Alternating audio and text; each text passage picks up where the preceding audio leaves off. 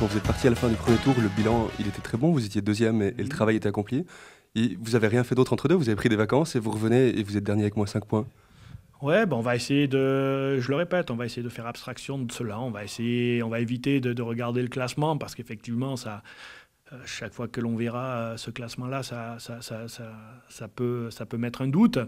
Mais mm, voilà, c'est ce que je, crois qu'aujourd'hui, il ne nous faut pas être envahi par les doutes, il ne nous faut pas euh, être envahi par les incertitudes de l'avenir. Je crois qu'aujourd'hui, il faut, qu'on prenne, euh, euh, qu'on fasse une bonne préparation et qu'après, on aborde match après match avec, je le répète, cette simple idée de, vouloir faire la meilleure performance et donc de gagner.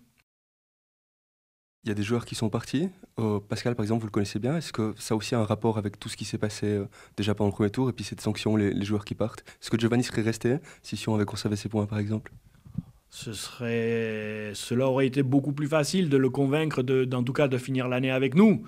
Euh, parce que euh, le challenge de, pouvoir jouer la première place et d'être champion suisse, ça reste quand même une belle ligne à un palmarès.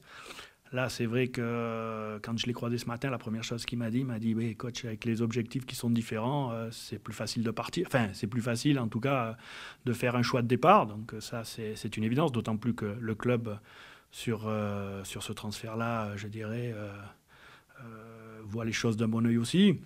Pascal, euh, il est évident qu'en tout cas, euh, déjà sur, sur la fin de ce premier tour, on a bien senti que Pascal était frustré, était, avait, lâché un petit peu par rapport à toutes les, les, péripéties vécues. Donc c'est vrai qu'il était venu pour jouer le titre de champion, c'est vrai qu'il était venu pour la Coupe de, l'Europa League. donc à partir de là, du moment où il a plus cette ambition-là, vu l'âge qu'il a, il est évident qu'il se tourne vers d'autres horizons et d'autres objectifs.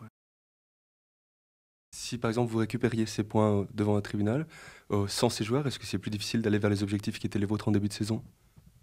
Non, mais j'ose espérer, mais de toute façon, je ne sais pas trahir un secret, mais qu'avec Christian, on est sur la même longueur d'onde. Savoir qu'aujourd'hui, on perd des joueurs, mais dans notre tête, c'est d'en recruter aussi. Euh, euh, si l'effectif avait été, été resté identique, on avait quand même dans l'idée de, faire une ou deux recrues. Donc aujourd'hui, avec le départ de ces garçons-là, il est évident que recruter, aujourd'hui, ça s'impose.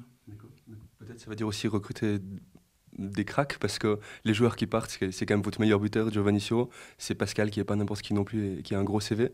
Est-ce que c'est possible de recruter de bons joueurs alors qu'on a ce genre d'ennui? C'est toute l'incertitude, d'abord parce que pour faire venir des garçons, euh, quand vous leur annoncez que vous êtes à moins 5, que déjà pour, euh, pour gagner une place, il vous faut euh, gagner 16 points sur, le, sur celui qui vous, qui vous devance. Donc c'est beaucoup plus compliqué que lorsque vous annoncez que vous jouez le titre et que vous visez la Champions League, c'est évident. Maintenant, euh, il est évident aussi qu'il eh ben, ne nous faudra pas nous tromper dans le recrutement parce qu'on parce qu'on ne va pas avoir euh, beaucoup de, munitions. En tout cas, il ne faudra pas gâcher les munitions. Donc euh, comme vous dites, Giovannicio, c'est 9 buts, 5 passes décisives, c'est votre leader d'attaque. Pascal, ça reste celui qui, qui nous a fait gagner 3-4 matchs euh, importants. Donc, euh, euh, ouais, on, sait, on sait ce qu'on a perdu. On a perdu gros, certes. Maintenant, c'est pour ça que dans notre recrutement, on ira peut-être on va pas se précipiter, mais c'est vrai qu'il nous faut euh, rapidement, je pense, euh, au moins euh, combler ces deux postes-là, et en essayant de ne pas se tromper, parce que, parce que là, les, joueurs nouveaux qui vont arriver vont avoir un rôle déterminant. Oui. Dernière question, là aujourd'hui, si je vous demande votre objectif pour le deuxième tour, c'est quoi? Écoutez, je vais aller dans le sens du président qui a parlé de 44 points. Euh, voilà, je dirais qu'aujourd'hui, c'est, je répète, c'est de rester compétitif. On est des professionnels. Ce qui nous fait vibrer, c'est de gagner. Ce qui, ce qui met de la joie dans une équipe, c'est de gagner. C'est l'euphorie. Donc, euh, je veux dire, faisons abstraction de ce classement-là. Euh, il y a 18 matchs à, à jouer et faisons en sorte de prendre le maximum de points sur ces 18 matchs.